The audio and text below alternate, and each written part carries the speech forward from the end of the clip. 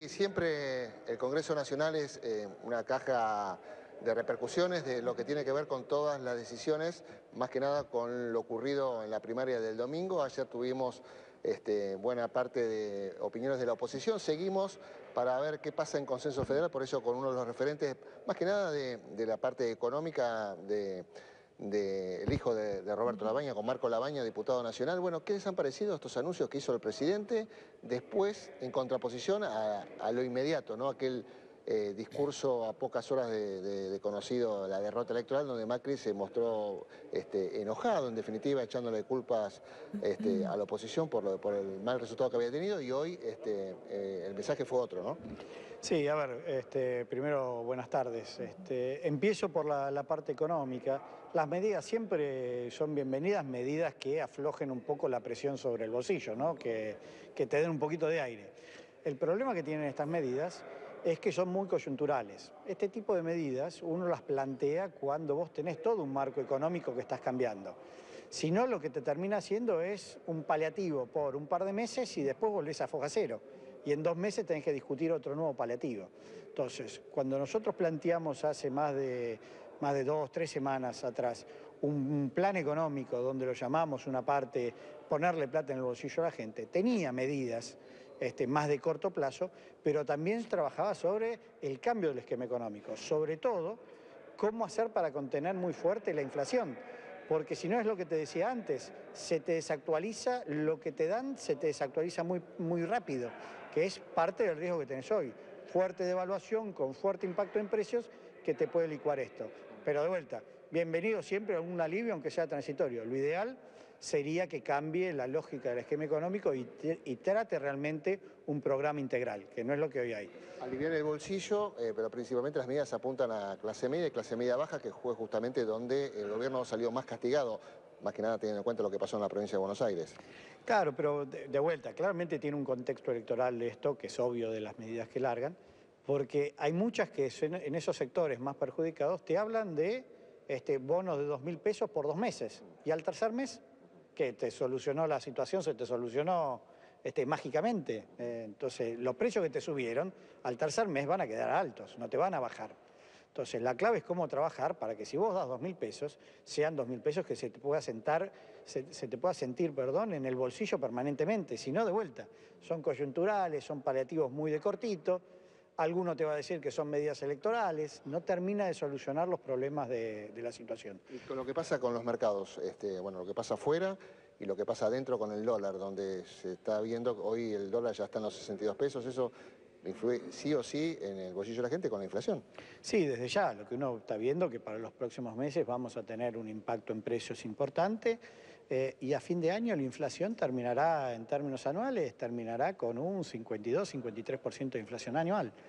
Eh, creo que pese al cambio de discurso que claramente hubo entre el día lunes y el, día de hoy, eh, me parece que se tomó como que el del día lunes fue el auténtico y hoy estaba como más este, más este, elaborado, más este, direccionado.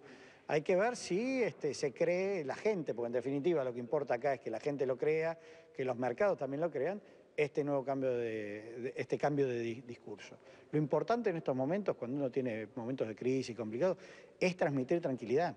Si uno no transmite tranquilidad, si uno no transmite que uno tiene claridad para dónde vas eh, a resolver los problemas, es difícil después este, que no te pasen estos, estos vaivenes que vimos en estos días.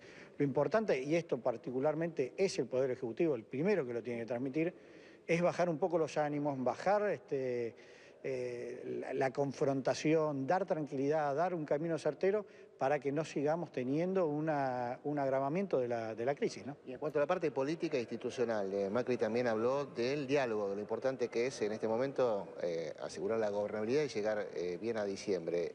concretamente con ustedes, con su padre, ¿ha hablado? Habló el día lunes a la mañana antes de esa conferencia de prensa, donde básicamente la, conversación fue en torno de bueno, la preocupación sobre los mercados, la preocupación sobre la situación eh, y la necesidad de gobernabilidad, lo cual obviamente dijimos, sí, desde ya eso está siempre, este, siempre descartado, que vamos a hacer todo lo posible para eh, mantener la gobernabilidad, la tranquilidad, pero desde esa conversación a después lo que vimos a la tarde en esa conferencia de prensa donde el votante tenía la culpa, Digo, eran dos, dos presidentes distintos, de vuelta. Eh, hay que mantener particularmente desde la principal cabeza, que es el presidente, para abajo, tranquilidad y un camino certero para dónde vamos. Pero si no, vamos a seguir a los tumbos. Silvia, Marco Labaña te escucha si querés consultarle algo. Sí, ¿qué tal, Marco Albaña? Buenas tardes, gracias. Estamos acá también con Adrián Ventura, que tenemos ahí varias preguntas para hacerle. ¿Qué tal? Eh, a propósito de, em, por ejemplo, eh, lo que usted decía de este escenario que por dos meses nada más eh, puede estar el aumento para la gente y el tercer mes que pasa. Entiendo que en este escenario nos puso las paso y de alguna manera podría ocurrir que, todavía se pueden hacer estos otros anuncios más de fondo que usted em, estaba apuntando, que podría ser esto atendiendo lo urgente y que más adelante, y ahí quiero saber si ustedes pueden aportar eh, justamente ese camino que usted dice que podría dar de alguna manera tranquilidad a largo plazo. A ver, nosotros este, hace de vuelta, como les decía antes, hace dos, tres semanas anunciamos un programa económico eh, donde era ponerle plata en el bolsillo a la gente, pero tenía que ver también con la cuestión estructural. Ejemplo, cómo bajar la tasa de interés, cómo pones en movimiento la economía. Digo, yo diferencio mucho las medidas que son paliativos, que de vuelta, bienvenidas, porque algún alivio siempre está, aunque sea momentáneo, eh, siempre es mejor algo que nada. Eh, de las cuestiones que son más estructurales. Estas son paliativos.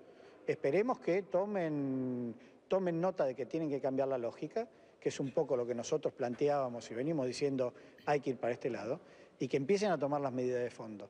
Eh, tienen que llevar tranquilidad en los mercados, tienen que eh, lograr eh, contener o tener un programa distinto antiinflacionario. No podemos llegar de vuelta por segundo año consecutivo con una inflación por arriba del segundo del 50%. ¿Cuál es el aporte concreto que harían ustedes?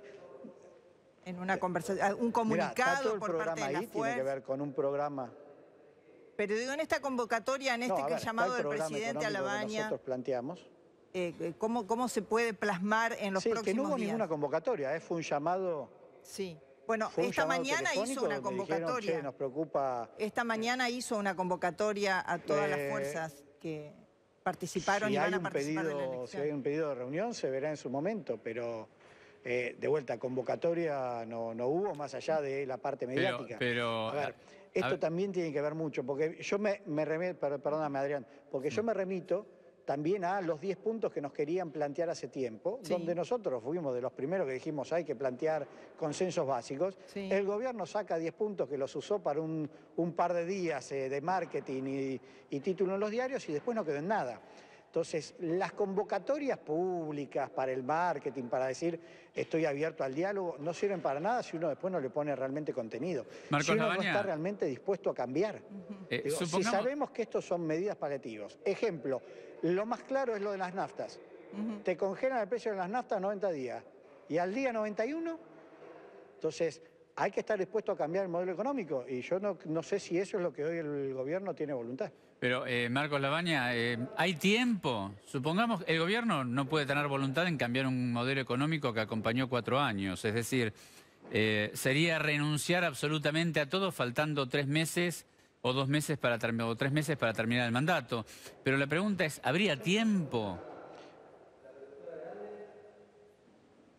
Tiempo a hacerlo, no tiempo a tener éxito. ¿Cómo? la situación. Es cambiar un modelo completamente económico, es cambiar toda la gestión, es otro Macri. Totalmente. Creo que tiene el ejemplo, tiene fusibles que son ministros que podría estar haciendo cambios también, eso le corresponde al presidente, pero eh, claramente vino llevando adelante un modelo económico que fracasó.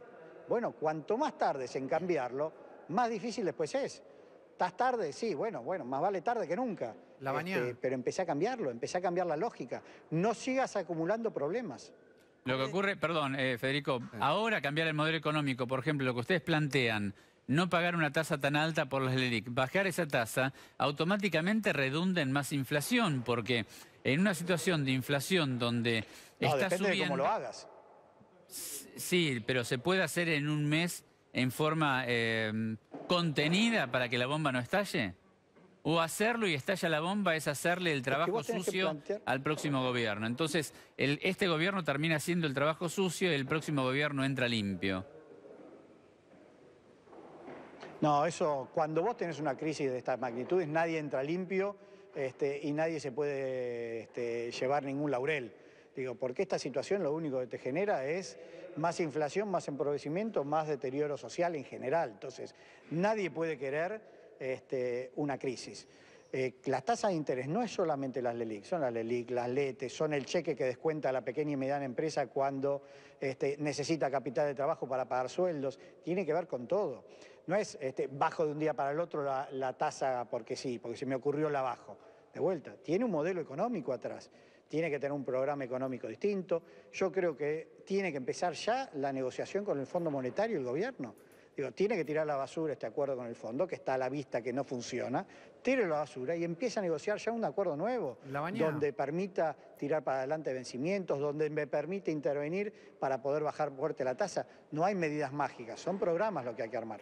Eh, Federico Soy, ¿cómo le, Federico Sever, ¿qué dice la baña? Eh, usted está pensando un poco, este, describiendo la, situación, o por lo menos estas medidas, aparentemente como un paliativo, este, importantes, pero es un paliativo y nada más. Lo que me da la sensación de que, de que todos los sectores están siendo un poco egoístas y casi todos pensando en su beneficio para octubre, porque si no, no se entiende cómo Alberto Fernández, que sacó un caudal este, enorme de votos, no intentó ya mismo, de alguna manera, calmar a los mercados diciendo yo voy a hacer esto, esto, esto. Porque también uno entiende, interpreta, que si hasta ahora no describió cuál, fue, cuál va a ser su plan económico en caso de llegar a la Casa Rosada y le fue bien y sacó un porcentaje descomunal de votos por encima del gobierno, ¿para qué tendría que hacerlo de cara a octubre si total con esto le alcanza? ¿No, no, debiera haber como un, como un gesto de esa manera, también pensando en todo. Eso se lo deberías preguntar a a ver, eso se lo deberías preguntar a Alberto Fernández. pero se lo pregunto usted como una de las fuerzas importantes que compiten en esta elección.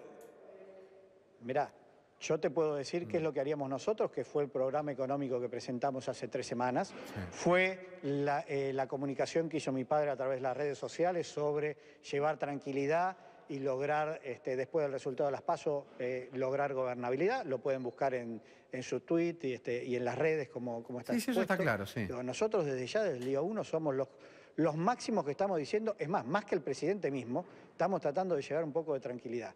Ahora, uno después, cuando hace un análisis sobre medidas como, las que se anunciaron hoy, uno tiene que diferenciar si son paliativos o son medidas que terminan solucionando los problemas. Estas son paliativas, bienvenidos. ¿Cómo hacemos para trabajar para las cuestiones de fondo? Porque si no, en dos, tres meses, el día 91, por ejemplo, después de las naftas, nos agarramos la cabeza. Entonces, ahí es donde hay que trabajar, no hay que pensar en cómo hago para llegar a las elecciones. Acá hace falta eh, solucionar problemas serios que tiene la economía, dejando de lado la cuestión netamente electoral. Pero de parte de todos me parece que debería pasar eso, la baña o no. transmitidos nuestro programa económico. Está bien, de parte de todos. Por eso te digo, nosotros en su momento, nuestro aporte, fuimos la, la única fuerza que propuso un programa económico y lo, lo expusimos, lo presentamos está a disposición ahí para, discutirlo, para, hablarlo. Tienen los, los puntos originales en esos famosos 10 puntos, los 10 puntos que nosotros contestamos con mucho detalle a cada uno al presidente de la Nación. Digo, pero esto de vuelta, hay que tener una vocación de diálogo verdadera, no el marketing para, eh, para la Cámara. ¿no? Labaña, em, para usted, esta reacción de los mercados de la situación que estamos viviendo desde el lunes, ¿no tiene nada que ver con el resultado de las pasos, no tiene nada que ver con esa diferencia eh, de votos a favor de Alberto Fernández?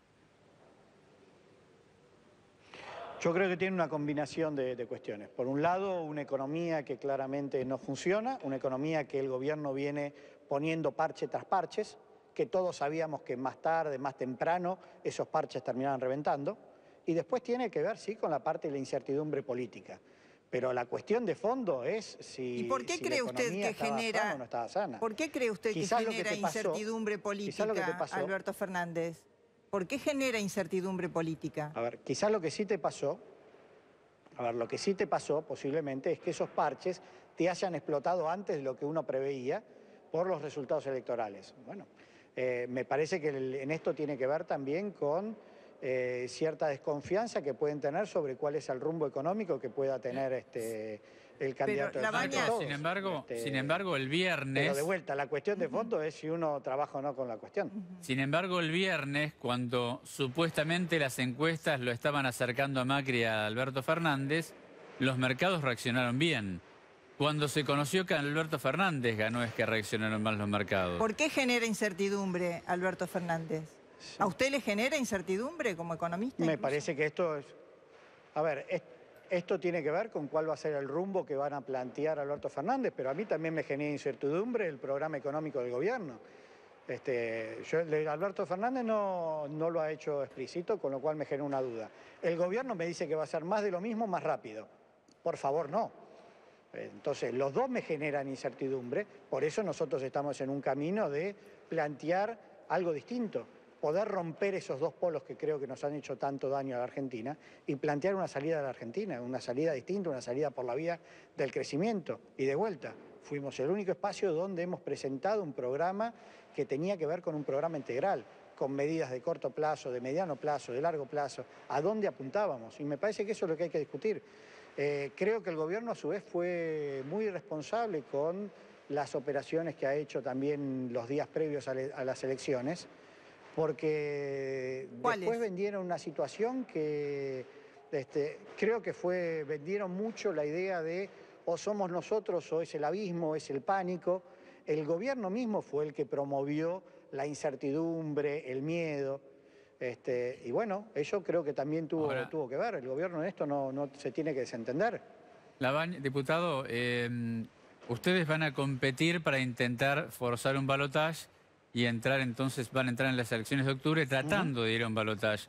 Eh, ¿No están demasiado lejos de la punta como para ir a ganar una primera vuelta en lugar de tratar de armar un gobierno, cada fuerza por separado, pero algún entendimiento con el gobierno que puedan derrotar eh, Alberto Fernández? O prefieren el gobierno de Alberto Fernández? Es decir, ¿ustedes compitiendo no terminan beneficiando a Alberto Fernández, sacándole votos a bueno, Fernández dijo, ¿a quién no le gustaría tener a Roberto Labaña de ministro? ¿No son funcionales, no terminan siendo funcionales a, Alberto Fernández al frente de todos? Mira, te lo voy a poner así. Eh, es un avión que va en el medio de una turbulencia y entra en crisis. Y tenés al piloto actual que no sabe si te va a estallar o no. Tenés a otro que tampoco sabes si te va a estallar o no y cuál es el rumbo. Y vos estás ahí que sos piloto y sabés para dónde ir. ¿Vos no tratás de hacer algo para salvar al avión? Bueno, nosotros estamos en ese esfuerzo.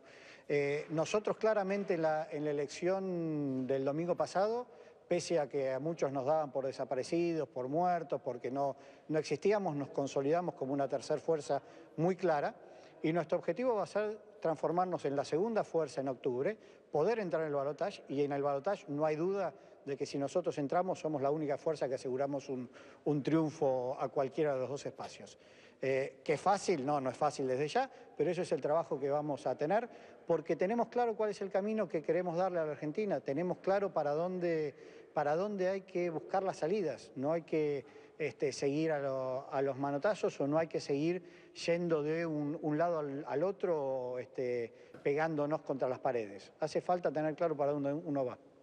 Em, quería preguntarle sobre los anuncios del presidente. Usted dice que son paliativos, que están bien, que todo lo que venga a sumar un poco de alivio a los bolsillos de la gente eh, está bien. ¿Qué, para su criterio, qué faltó? ¿O qué podría faltar, digo, así, en términos de paliativo, de urgente? ¿Y qué sector pudo haber estado esperando un anuncio y no lo recibió? A ver, me parece que lo que falta es que estos anuncios uno los pueda mantener en el tiempo el beneficio, el beneficio o el paliativo que te dan ahora, que vos a lo largo de los meses lo puedas mantener. Este, porque bueno, de vuelta, si no, lo que te pasa es que a los dos meses estamos discutiendo de vuelta cuál es el nuevo paliativo. Pero en el futuro pueden venir Ese es nuevos lo, que le falta al anuncio. Claro, bueno, pero en el futuro, usted hablaba, por ejemplo, de los combustibles. Debería ser momento que el gobierno dé tranquilidad para dónde vamos. Mm, eh, usted hablaba de los combustibles hace tiempo, ya que los combustibles venían un poco retrasados, venían como una especie de techo, venían aumentando a cuenta gota, no siguiendo de pronto eh, otras variables. Eh, y bueno, y en el medio de eso aparece ahora este congelamiento por Los combustibles aumentaron más que los salarios también, ¿no? Claro, por eso se les estaba poniendo como un freno. Bastante más que los salarios. Eh, los alimentos subieron mucho más que los salarios. Las tarifas subieron mucho más que los salarios. Acá la clave es cómo hacer para no seguir deteriorando el bolsillo de la gente. Claro. Este, que esa es la clave. No podemos seguir en una situación de deterioro social, en una situación de destrucción de más de 200.000 puestos de trabajo en un año. Eh, seguir presionando a la pequeña y mediana empresa, al consumidor. Eh, hay que empezar a poner la prioridad en cómo hacemos para recuperar. De vuelta, bienvenido que uno tenga esos paliativos porque te va a dar dos meses de un poquitito más de tranquilidad pero no te alcanza, no te alcanza para solucionar la cuestión de fondo, que eso es lo que nosotros... Usted, este, la baña, discúlpeme, ¿usted cree que... al gobierno que rectifique el rumbo, que empiece a cambiar. ¿Usted cree que el gobierno no quiere hacerlo? Es más, los impuestos, el ABL, el inmobiliario, mm. aumentó aumentó más que lo que aumentaron los salarios. ¿Es necesario que el gobierno, los gobiernos, te aumenten más el ABL o el impuesto inmobiliario, más de lo que te aumentaron los salarios? ¿En una situación donde el bolsillo ya no te alcanza? Entonces... que tengas un auto y las, patentes te, se, te disparen. Bueno, ese es donde uno tiene que cambiar las prioridades. Digamos, el gobierno no quiere, no sabe, no puede. ¿Qué, es lo que usted cree que está pasando? Porque uno supone, uno supone, imagina que el gobierno quiere que las cosas estén mejor de lo que están. Entonces, ¿cuál, es la, qué, ve usted? ¿No lo sabe hacer? yo no le veo yo no le veo, no le veo una intención de cómo mm. hago para perjudicar a la gente, al gobierno, digo, sería demasiado cínico. Eh, no lo veo en esa tesitura. Me parece que está dentro de un círculo vicioso mm. donde no sabe cómo salir. Ah, no sabe. Donde lo que viene repitiendo es este, políticas este, que no están dando resultados. Y, y, está metido en ese, en ese círculo y me parece que queda trabado ahí. Y tiene que salir del círculo. Eh, la Dentro de un contexto donde te digo, bienvenido que uno tenga políticas paliativas, pero tenés que salir del círculo vicioso. Diputado, estos 40 mil millones que significa de eh, costo fiscal las medidas que tomó el gobierno, bien, mal, buenas, malas, pero más o menos es el volumen, eh, se van a volcar al consumo y el consumo en un, momento de inflación, usted mismo lo dice, la inflación va a absorber parte de ese dinero. ¿Cómo evitar que estos 40 mil millones produzcan todavía un alza mayor de la inflación? Es decir, al revés, que los empresarios aprovechen, ah, hay más dinero en la calle, entonces subimos los precios. ¿Cómo evitarlo? A ver, ahí creo que tiene que ver, primero, no creo que haya mucho margen para que, para que pase eso, sobre todo porque es algo muy, muy corto, de, poco tiempo. Eh, pero además creo que ahí sí es donde el Estado tiene que, estar presente asegurando de que cuando el Estado hace un esfuerzo, que no haya unos pocos vivos que se lo terminan eh, llevando. Esto es una decisión política, hay instrumentos que tiene el Estado, defensa de la competencia, defensa del consumidor y otros instrumentos que puede utilizar para evitar esto. Eso es una, parte también de decisión política de cómo uno hace para este, evitar cualquier tipo de eh, avivada o cualquier tipo de, este, eh, de, remarcación de precios. Creo que el problema que está teniendo el gobierno es que no tiene una política antiinflacionaria. Entonces, cuando vos tenés una suba del dólar como la que hemos tenido en estos días, sabemos que indefectiblemente va a pegar en la inflación y no tiene que ver simplemente con una avivada de alguien, sino porque es como te está funcionando la economía. La Baña, gracias por su tiempo. Javier, te dejamos el cierre. Gracias a ustedes. Bueno, eh, en definitiva, ustedes, eh, como dijo al principio de la entrevista, eh, el lunes mismo su padre habló con el presidente Macri, pero no tiene ninguna convocatoria formal a partir de lo que dijo Macri hoy a mediodía. No, y de vuelta, creo que acá lo importante es, si uno hace una convocatoria o eso, no tiene que ser para sacarse una foto, este, tiene que ser para realmente querer solucionar los problemas, este, porque si no, termina como hemos terminado con muchas fotitos que después a la gente no le termina este, resolviendo ninguno de los problemas que tiene.